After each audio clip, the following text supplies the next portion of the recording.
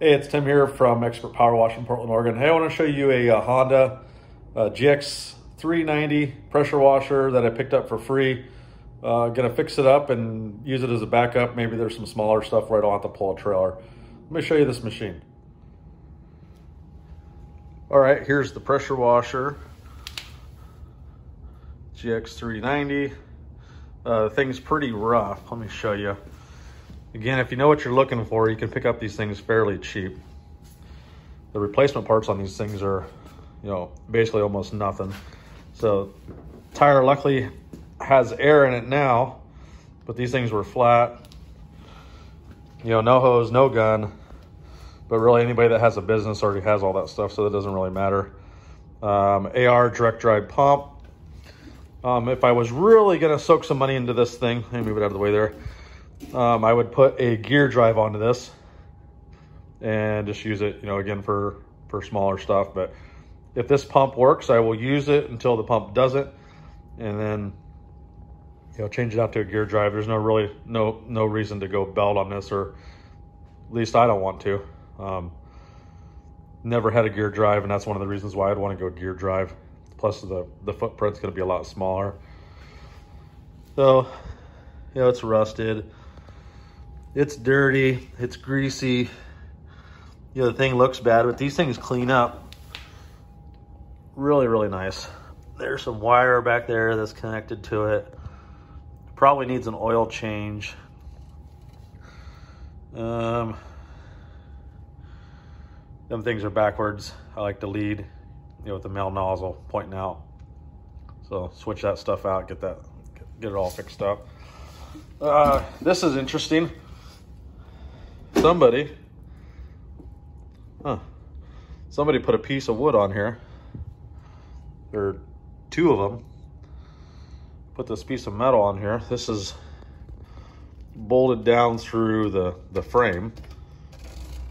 So I don't even know if this thing's original, but of course the wood isn't. That's somebody rigging it up.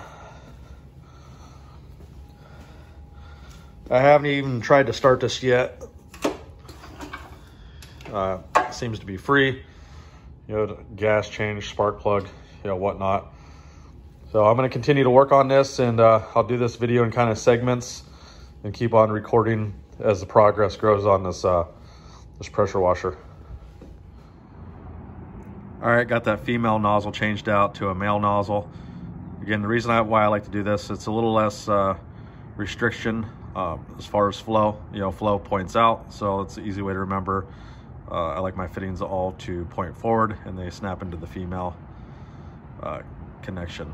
So here is the one that was on there, has the downstream injector. Um, I do my downstream injectors a little different, so I'll show you guys a quick little tip.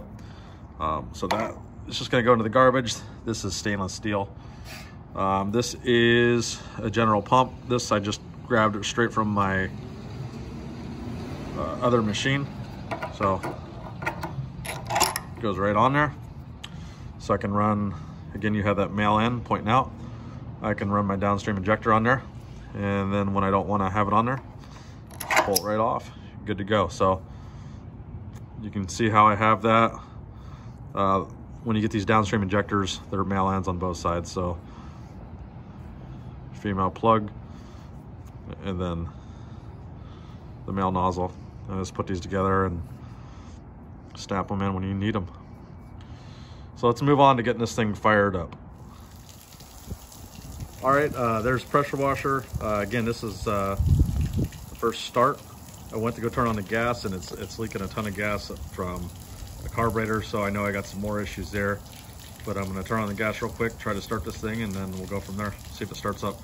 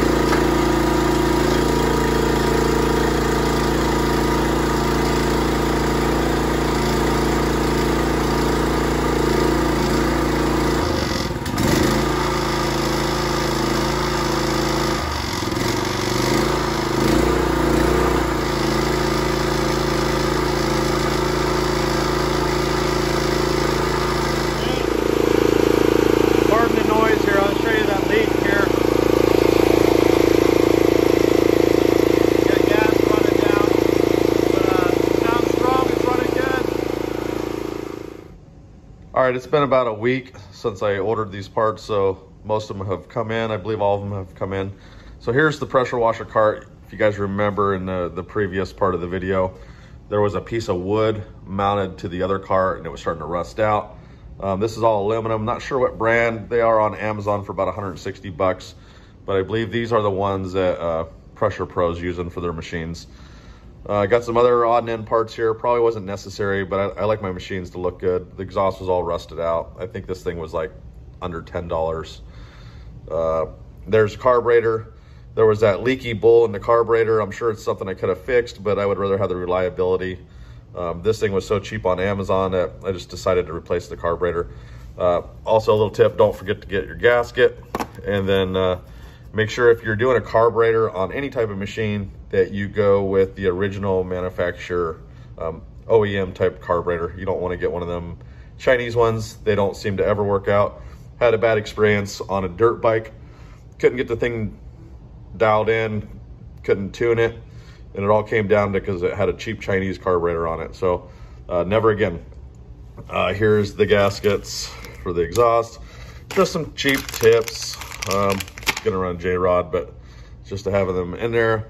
Um, I was looking at air filters just to replace the air filters as part of the tune-up. This whole air box, uh, again, under $10 on Amazon, and it comes with the air filter in there, so why not? Uh, gas tank was all banged up. I just went with a new one. It was super cheap. Uh,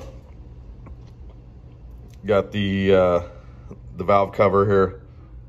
Again, all this stuff was super cheap. It'll it'll make it look good and give it the reliability.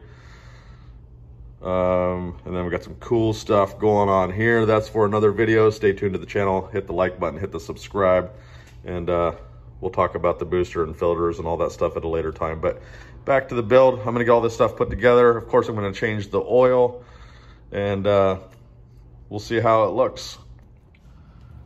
Wanted to point out something real quick on these uh, Jix 390 exhausts. If you think you're gonna get these screws out, I'm sure there's some of you guys that can throw a torch or something on it. But just to let you know, you're, you're gonna end up stripping these things out. So if you're thinking about just buying a new cover, just get the whole, just get the whole thing. They're, they're cheap and then just toss this. So we'll get the new one on here, get this thing fixed up. All right, progress so far. We got the new tank on there. Got the new air box. Got the new exhaust put on there. I will tell you just a couple tips. Of course, I had to put my expert power wash sticker on there. Uh, this lower part here, this is the older part. Um, on some of these aftermarket parts, they don't exactly fit how they're supposed to. So on the new one that I got on Amazon, these levers and stuff didn't didn't fit in there. So just use the old one, no big deal on that. Um, I don't know if you can kind of see here, but yeah, a little bit there. Got the new carbon, that was super easy. Got the new uh, valve cover. So we are almost ready to move this machine on over to the new cart.